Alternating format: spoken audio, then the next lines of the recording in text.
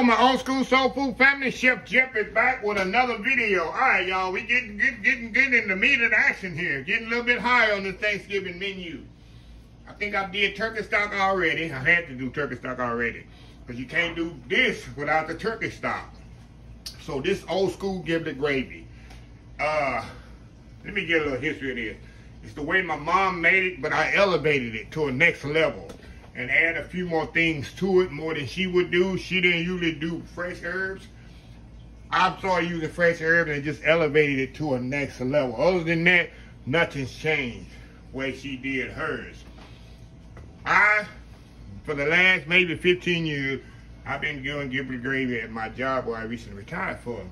Last year, we made 120 gallons of this giblet gravy. If I find a picture, I'm gonna show you a picture of me standing there stirring in a big old 60 gallon pot. We had to do two of them, two batches. In a 60 gallon pot, I was making to give it gravy. And I do it every year, even though I was in the purchasing. I would come out in the kitchen in Thanksgiving and kind of supervise, make sure it's real, because it's something that I, a lot of recipes that I uh, did, and I wanted to make sure they was done correctly, because it's really my name on it it wasn't nothing done correctly. But It a Gravy was definitely one of them.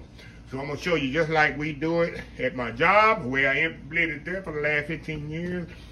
And I'm gonna show you very simple. So first thing I'm gonna do, I got giblets here. I washed them down. Now, these are chicken giblets. You can't find turkey giblets, by all means, use chicken giblets. It's the same thing, y'all. It's just a smaller giblet. Turkey and chicken is no difference in the giblet.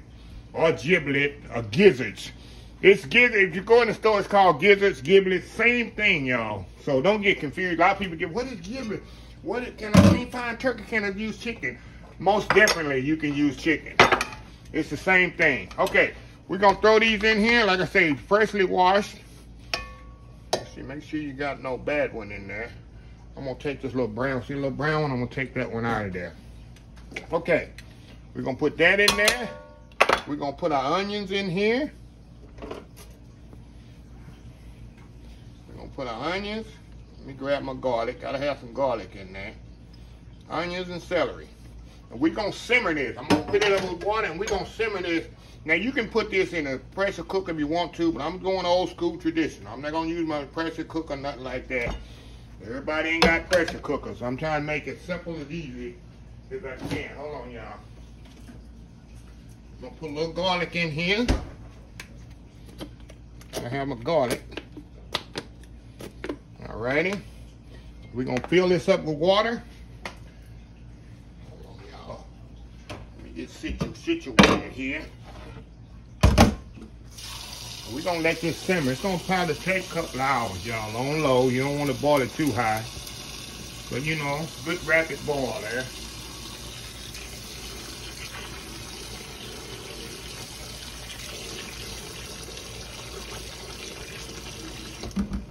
Me move y'all over here. Now, this is about how much uh much uh water you gonna put in it. Put it over here thing here. Now, I'm gonna let that simmer. Gonna take a couple hours. And then after it simmer, we're gonna come back. I got some eggs I'm gonna put in it at the end, but I'm gonna show you the next process after simmer. First thing I need to do, I need to get them tender these giblets. When they come back after they tender, I'm gonna take the giblets out and I'm gonna chop them up. And uh, cause then you can't eat them like that. I'm gonna chop them up. I'm gonna put them back in there. I'm gonna make my gravy first. Everything complete. Then I'm gonna put my giblets back in after do the gravy. I'm getting ahead of myself. Don't don't worry, y'all. I'm gonna explain everything again when I get back. I've got a lot of stuff going on right now Thanksgiving, so I don't want to get too many videos and procedures mixed up. So we got our giblets in here, giblets, however you say it, in here with the celery and onions and garlic. I don't put no salt and pepper, no nothing in it. Just like that. We're going to simmer these until they get completely tender. We come back, we're going to take them out, and we'll go to the next step. We'll be right back. All right, y'all, we are back here. Let's check the giblets, giblets here. Look at that. And you see how that water has reduced down? And y'all probably caught that. Y'all probably said, why Chef Jeffery didn't put the turkey stock in the gizzards as he was cooking them? That's why. I don't want to lose all my valuable turkey stock as my gizzards are cooking because I know all that liquid is going to reduce down. I'm going to use the turkey stock when I make my gravy from this. So what I'm going to do, y'all, I'm going to take this out of here, these gizzards. One second here. Turn this off. And I'm to take the gizzards out of here. I'm to let them cool because I want to uh, let them cool and I'm to chop them up. You can put them in a blender you want to, but I just kind of rough chop them by hand because I don't want to, uh, I don't want them too small. And I don't want them too big. So I control it better and I chop them by hand. So we're to get as much of them out of here as we can. Pretty much all of them. I don't want any in here, y'all. And that's all flavor down in there, y'all. It's all flavor in there. Now we're gonna add our chicken stock, chicken stock, turkey stock, same thing pretty much. Turkey stock to this. Got it on the side. Just a second, y'all. Move some things around here.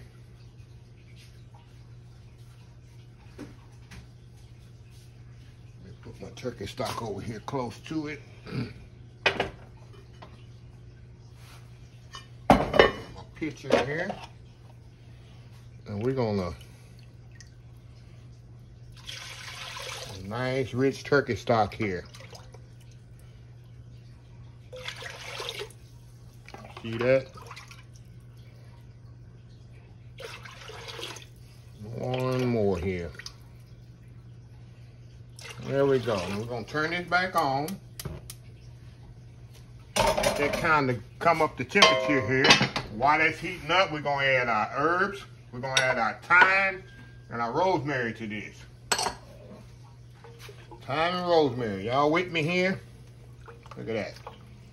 And let that cook down. I want them herbs to kind of cook about 10, 15, 20 minutes. And while that's simmering, we're gonna uh, chop up my uh, giblets. And when we come back, we're gonna tighten this up with some roux. Y'all know the roux that I always keep in my fridge, butter and flour. If you don't know what roux is, just search old school roux. I got a video on that. If somebody gonna ask what is roux, they always do. And I just tell them search old school roux. And I got a video on it. So what I'm gonna do here, y'all, like I said, I'm gonna uh, let this come to a boil, simmer. See how pretty that is, y'all. You ain't seen nothing yet. Wait till I finish this up. We're gonna come back and we're gonna tighten it up with some roux. We're gonna add our giblets back to it. We're gonna hit it with some eggs and parsley, seasoned with salt and pepper. We got some old school giblet gravy, so it's almost ready. The hard part is the hard part is finished, just doing the giblets. So anyway, y'all, we'll be right back. All right, y'all, we are back. Okay, y'all, let me cover up cover what we got here. Only thing we got in here now a little residual leftover from the when I uh, simmered the uh, the turkey, turkey, uh, uh, the giblets. I added some old school turkey stock to this. I added the herbs, thyme, rosemary, and sage in here. I got thyme, rosemary, and sage in here. Chopped fresh, fresh thyme, rosemary, and sage. That's the only thing in this pot right here. Now, what I'm going to do here, I'm going to add the giblets back in here. See how uh, small I cut them? See that? That's as small as I want them. I don't want them no bigger, no smaller than that. I'm gonna put the giblets, the giblets, giblets, gizzards, however you want to say it, back in there. Get that all in there. Look at that. See that? Now, now what I want to do at this point, y'all, I want to season it up and tighten this up with some roux. Because I got two more items to put in there, which is the eggs and the parsley. But I don't want to put that till last because I don't want the parsley to get brown. I want the parsley to have that nice bright color at the end. And of course, the eggs are already cooked. They just like a staple of the South. People say, oh, you put eggs in giblet gravy. My mom put eggs in giblet gravy. I don't know why. I do it because she did it. And that's why I'm doing it. And speaking of my mom, y'all, Thanksgiving is my favorite holiday. Because I used to see my mom, it'd be like 12 o'clock in the morning and you could hear my mom in the kitchen still rattling pans and getting pies ready and and dressing. You could smell a smell of celery. When I smell celery boiling, it's always thinking, I'm not a big celery fan. Only time I eat celery, usually in dressing and this gravy. I don't use a lot of celery in my cooking. I'm just not a big fan of it. I don't like the taste of it. But just smelling of the celery and onions and all that sage, it just, it just reminisce of our house how it smelled on Thanksgiving, the night before Thanksgiving. All the fresh pies she made, she was amazing. She was definitely an amazing cook. And I hope I can ever be half the cook that she was. Okay. All right, now y'all, I'm gonna season this up with salt and pepper. I'm gonna do little by little. I ain't gonna put a lot because I'm gonna try to taste as I go. Remember the, the stock is very well seasoned, but it still need a little bit more salt and pepper to it. So let me taste it here and see how it tastes. And y'all see on Thanksgiving, as you see by these recipes, I don't skimp, skimp on nothing. Everything is homemade. It's a lot of work, but it's worth it for Thanksgiving, for your neighbors and friends. A little bit more salt and pepper.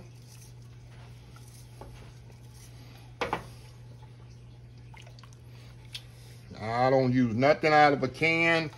All that playing around in the summer using the canned goods and all that. No, I put all the way November, December.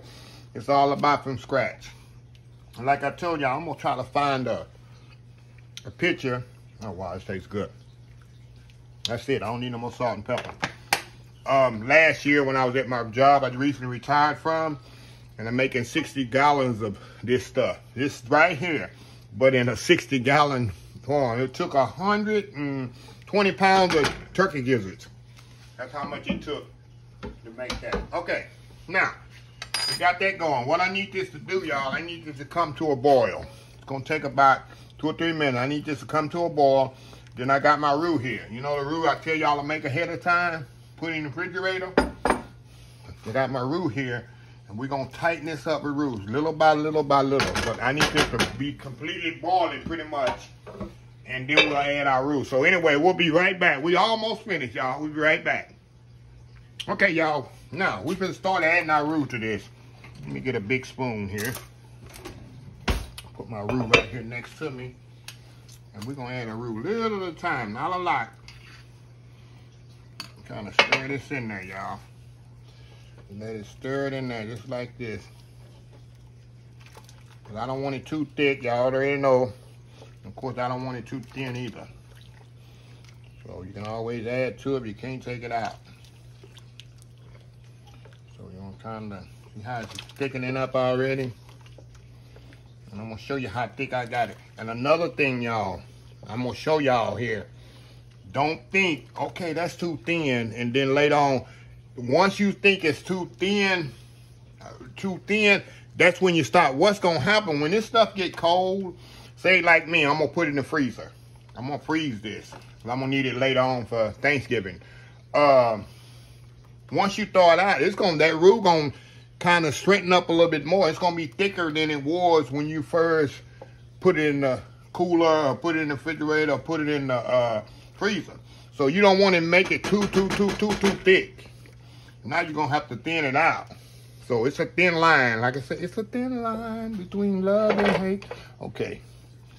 Get me to singing, y'all. I just love, love, love cooking Thanksgiving dinner, y'all. Y'all can't tell about excitement because it's homemade cooking. Even at my job, I was, like I was telling y'all, um, I was in purchasing for the last 12, 13 years of my uh, years there. But in Thanksgiving, I had to put my chef coat on and my apron, get in the kitchen and kind of show them, we, like I say, show them kids how to do it. And when they see me coming in, or if I was in the office, they would come in there and they making something. They did not finish and put nothing up until I actually tasted it and approved it. Yeah, because all the recipes that they was using, the glazed sweet potatoes, the, the cornbread dressing, giblet gravy, candy yam, all that stuff, macaroni and cheese was my recipes. And we had to make sure that it was approved by me before they put it up and cooled it down. All right, y'all, y'all see how that's thickening up? I'm gonna put a little bit more roux in there, y'all. Just a little bit more roux.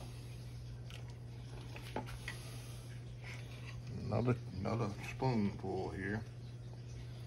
Like I say, y'all, make a big thing of roux, y'all, and put it in the refrigerator. I told you before, especially for Thanksgiving, because you're going to need it for your cheese sauce, your gravy here, and whatever other kind of gravy you might want to make. Look how pretty that is, y'all. Look at that. Coming along just good. You can just smell the fresh. It's amazing. You can just smell the fresh herbs in here, y'all. You just smell the fresh herbs. So I'm gonna step off again. Like I say, y'all, y'all probably say, oh, this takes too long. This is worth it. I'm telling you, if you make this for your family and your friends, I've had people tell me before, that's the best way. I'm telling you, they will think you the best cook in the world. And you know you got it from Chef Jeffery. You ain't got to give me credit. You don't want to. So yeah, just uh, I'm gonna step off again, y'all, and let this simmer. I need to get that roux taste out of here. And then we're gonna add three more items here. Two items and one little secret ingredient I'm gonna add. Y'all gonna see what it is. And that's gonna be it for this Old School Giblet Gravy. So y'all, we'll be right back.